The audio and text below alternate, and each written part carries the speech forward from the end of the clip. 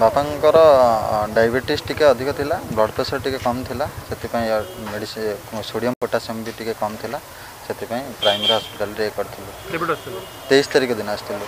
ତେଇଶ ତାରିଖରେ ସେମାନେ ରିପୋର୍ଟ ଚେକ୍ କଲା ପରେ କହିଲେ କି କିଡ଼ନୀ ଇଫେକ୍ଟେଡ଼ ଅଛି ଆଉ ବ୍ଲଡ଼ ପ୍ରେସର ବି କମ୍ ଅଛି ଆଉ ସେ ଇଫେକ୍ଟେଡ଼ ଦ୍ୱାରା ୟୁରିନ୍ଟା ବି ପ୍ରୋବ୍ଲେମ୍ ହେଉଛି। ଆଚ୍ଛା ତାପରେ ଏମିତି ଲଗାତାର ଚାରି ପାଞ୍ଚ ଦିନ ଭେଣ୍ଟିଲେଟରରେ ରଖିଲେ ସେଇ ଦିନଟି ଭେଣ୍ଟିଲେଟର ରଖିଲେ ଭେଣ୍ଟିଲେଟରରେ କେଉଁଦିନ ସେନ୍ସ ଆସେ କେଉଁଦିନ ସେନ୍ସ ଆସେନି। ଚାରି ପାଞ୍ଚ ଦିନ କଣ୍ଟିନ୍ୟୁ ଏମିତି କଲେ ଷ୍ଟେବୁଲ୍ ଅଛନ୍ତି ଷ୍ଟେବୁଲ୍ ନାହାନ୍ତି କ୍ରିଟିକାଲ୍ ସିଚୁଏସନ୍ ଅଛି ଡାଇଲିସିସ୍ କରିବା ଡାଇଲିସିସ୍ ବି ଆମେ ଆଜିକା ଡେଟ୍ରେ ତିନିଥର କରିସାରିଲୁଣି କୌଣସି ପେସେଣ୍ଟର କୌଣସି ରିକଭରି ନଥିଲା। ପେସେଣ୍ଟର ରିକଭରି ପୁରା ନିଲ୍ ଥିଲା।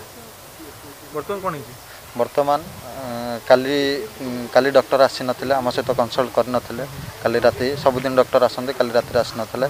ଆଜି ସକାଳେ ସେମାନେ କହିଲେ ଡକ୍ଟର କହିଛନ୍ତି ଡାଇଲିସିସ୍ କରିବା ପାଇଁ। ଡାଇଲିସିସ୍ ଆମେ କରାଉଥିଲୁ ନଅଟା ବେଳେ ମୁଁ ବି ଏଗାରଟା ବେଳେ ଯାଇଥିଲି। ମୋର ଜଣେ ରିଲେଟିଭ୍ର ଡକ୍ଟର ଆସିଥିଲେ।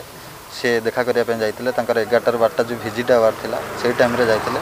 ସେ ଡକ୍ଟର ଦେଖିକିରି କହିଲେ କି ଟ୍ୱେଣ୍ଟି ଫୋର୍ ଆୱାର ହେଲାଣି ଡେଥ୍ ହେଇଗଲାଣି। ଏମାନେ ପକେଇକି ରଖିଛନ୍ତି।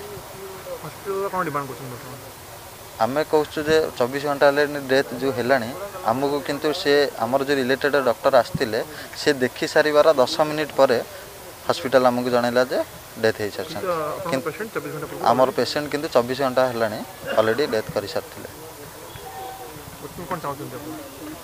ବର୍ତ୍ତମାନ ଚାହୁଁଛୁ ଏଇ ଟାଇପ୍ର ସବୁ ପେସେଣ୍ଟ ମୋ ଆଜି ମୋ ବାପା କାଲି ବହୁତ ପେସେଣ୍ଟ ଅଛନ୍ତି ଏଇ ଟାଇପ୍ର ଏଇସବୁ ଅବହେଳା ଜିନିଷଟା କଲେ ସମସ୍ତେ ଅସୁବିଧାର ସମ୍ମୁଖୀନ ହେବେ।